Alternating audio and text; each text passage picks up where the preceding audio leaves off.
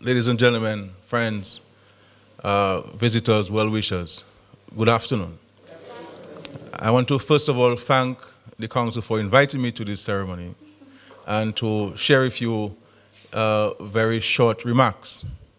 There are internal matters I am sure that we will discuss at another time, and I do not want to uh, detain our guests for too long uh, at the ceremony.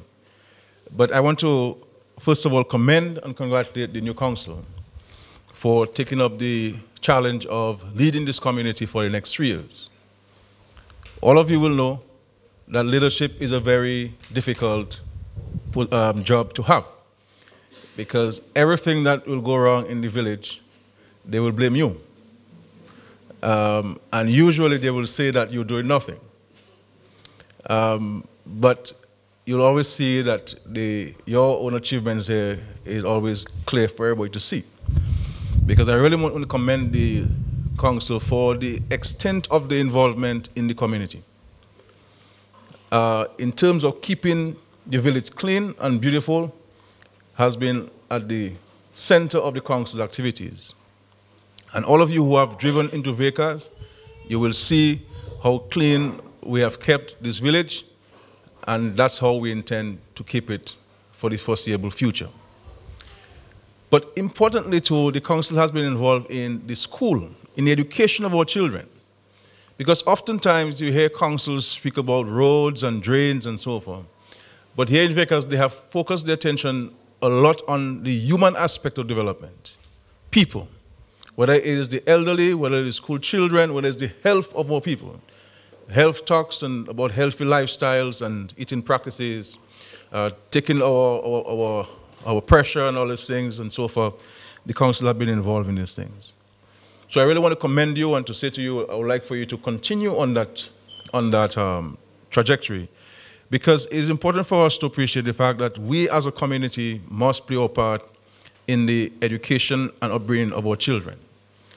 Yes, it is a parental responsibility, but it's also a societal responsibility. I want to say that there are a number of things that we will do together going forward, one of which is the total eradication of pit latrines in Vieille Case, and you have sent me the list of people who still have pit latrines in Vieille Case, and that will be um, done. We have to complete the Balisier Road, and not under could we have to do it and do it once and for all rather than take 10 more years to do it. We have to do it and let's do it um, before your term ends.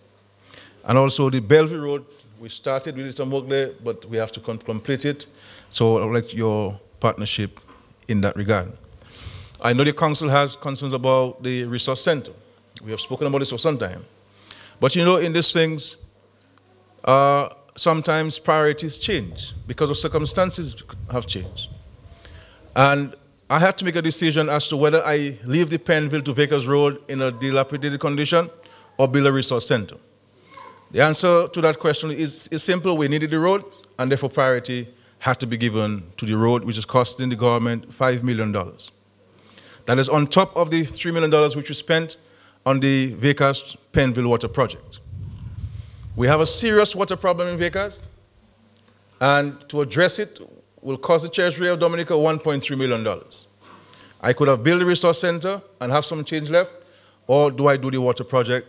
Water is important to all of us, and the reliability of the supply is also important. So we have to do this.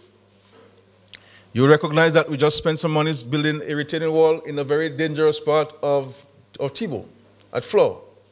We have to fix the road now. That's going also going to cost us some money. The Ministry of Health was about to commence uh, repair works on the health center.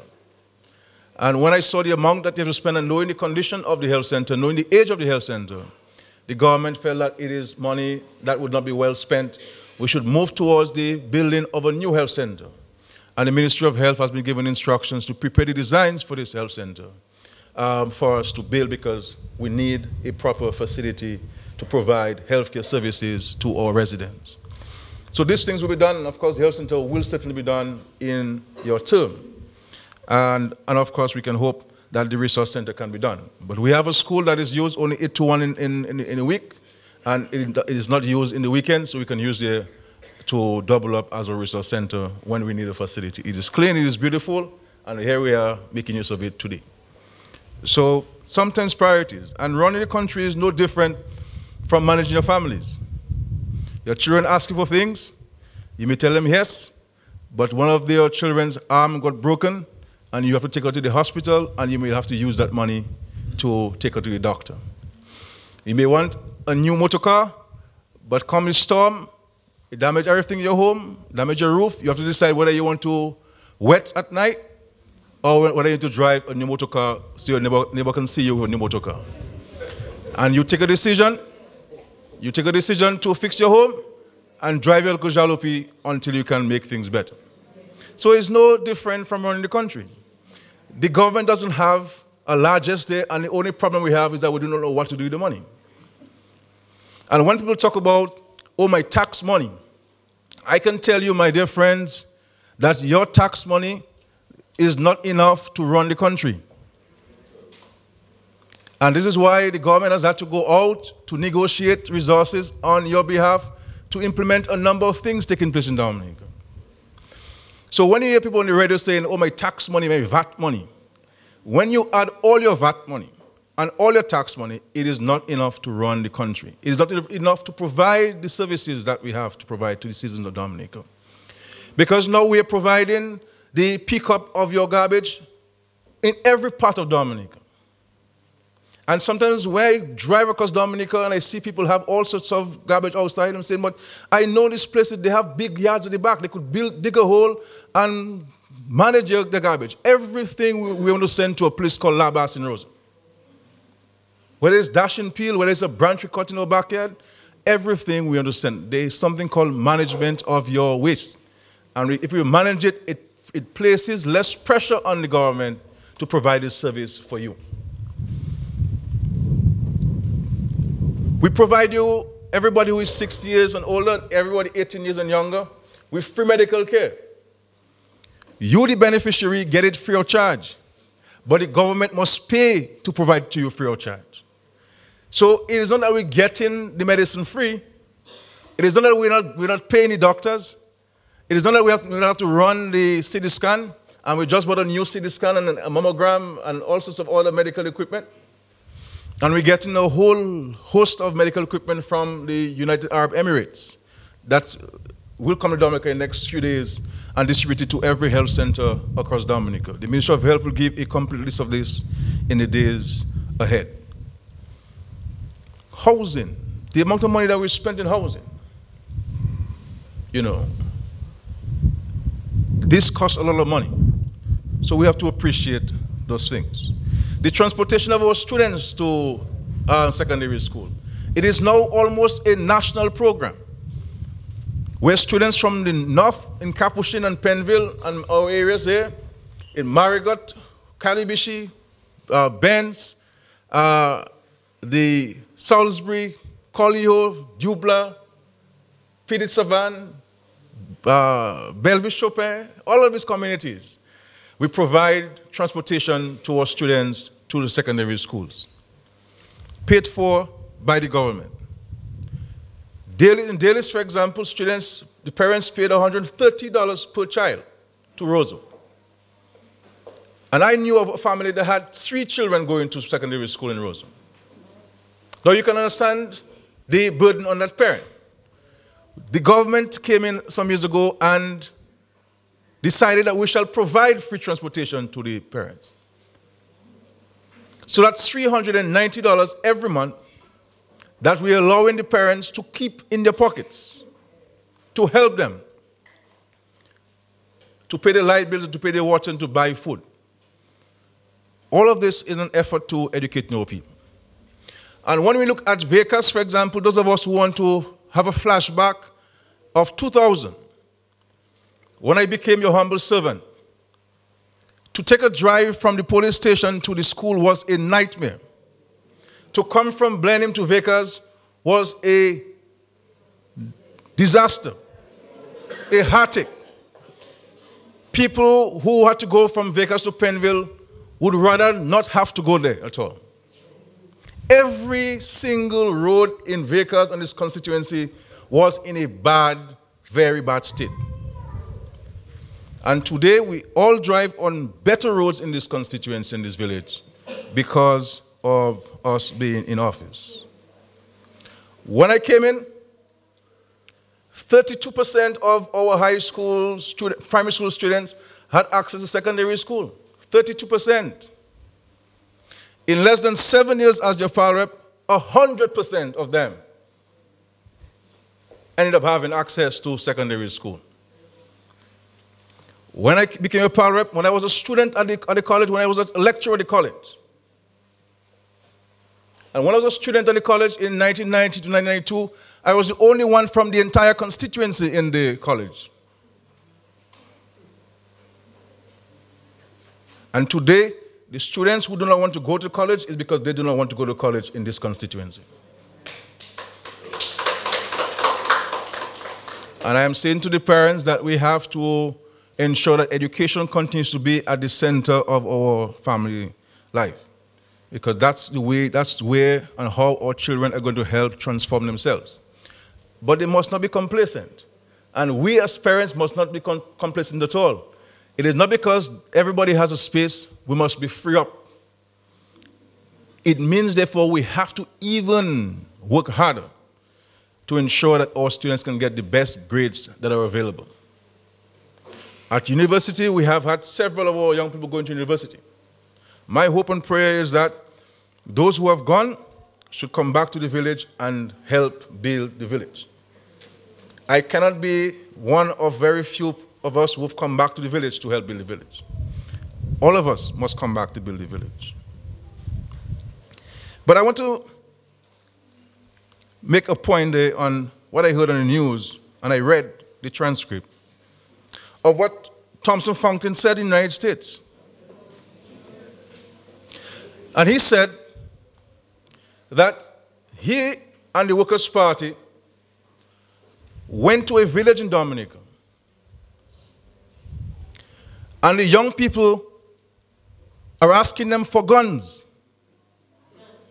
For guns to kill Chinese and Haitians. Now, I can tell you, my friends, that I have been a member of parliament for 14 years this year. And I've been the leader of the Labour Party for 10 years this year. And never, and I have been around Dominica more than most in this country. And I've been to more homes in Dominica than most in this country. And I've been to every single village and cranny in Dominica, every one of them. And never have our young people asked me for guns to kill anybody. Somebody is not going to ask you for marijuana if they know that you're not smoking marijuana. They're not going to ask you for a matches if they know that you're not a smoker. They will ask you for guns because of what you are preaching to our people in Dominica.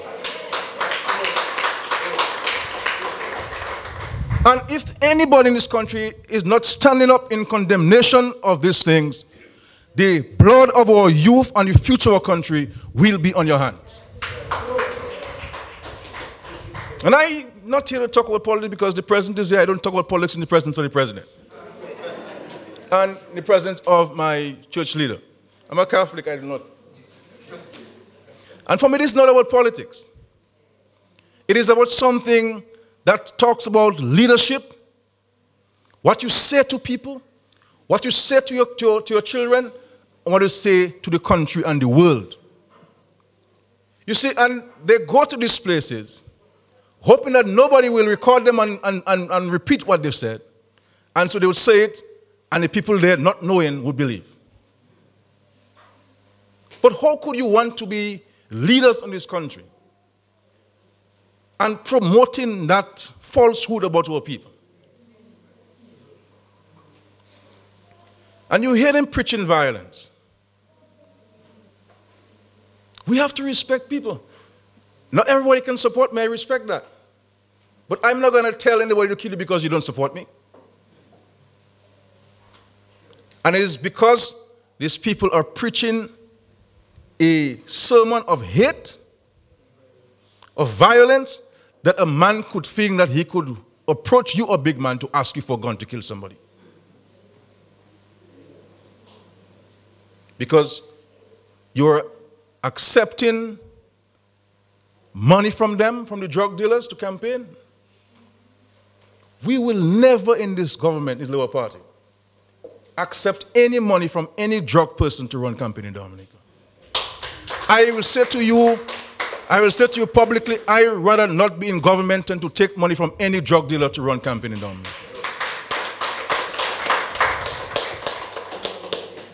Because how could you really go and say this? What image you trying to paint of our country? A country that we all have worked so hard to build and to promote as a peaceful place to come and do business, as a peaceful place to come to visit. But we shall not be deterred by these things. It tells us as a people that we have to be more vigilant, we have to be more aware, and the choices and decisions which we make are going to be even more critical. Because if these people are not in government, and I can tell you, based on the Constitution, a prime minister has a lot of authority. But it has to be used wisely, prudently, and in a responsible manner. Because if you do not do so, you can create havoc in the country. And this government, this government is not hostage to anybody in this world or this country. To anybody in this world and this country. Because we shall never compromise this country in any way, shape, or form. But I want to finally say to the council, I commend you, and I want to also recognize my friends like L. George and family, and May Honore and family, and Vianney and family. Those of you who drove down the hill would see the beautiful flowers planted along the roadside. These are done by these families, and they maintain it themselves, saving the government several thousands of dollars every year. And what a beautiful country we would have if all families were to join forces and do the same in our respective communities. You know. So, and I will say with great humility, I try my little thing on the roadside too. But the council don't, they don't, they don't um, clean it from my house. I don't know why. So, though I pay my house straight up front for the year. I see the clock, the clock is smiling, so she might fix that up. But we shall meet very soon to go over our activities. I see we have teacher Charlotte there who is a real community person and a champion for ecotourism. And OPAC and, and O2, clearly there are opportunities there. Um, Swallow, who is a regional counselor, he is on all international organizations of counselors.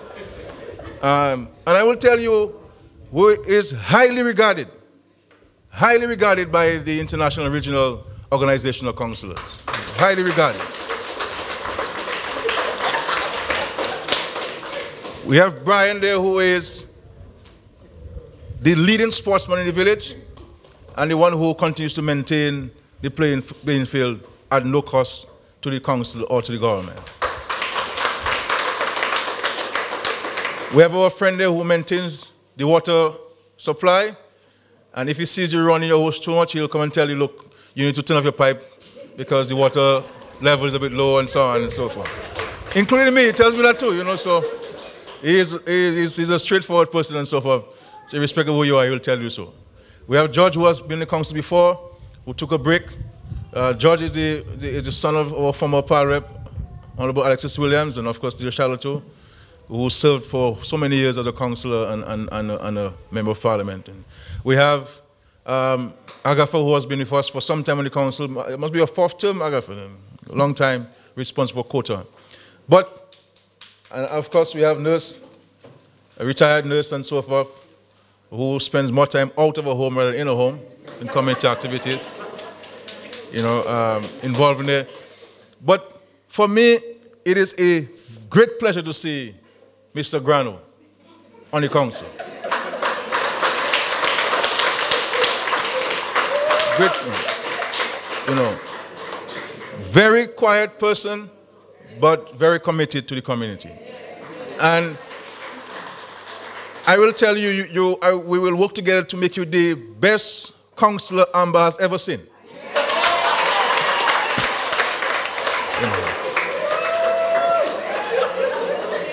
But we very happy to have you. So you have a you, you have a very good council, who I'm sure will work very well together. It is left to us now, the villagers, to join hands with them and move this community even to greater heights. I thank you very much for listening to me. God bless you. God bless Dominica. Thank you.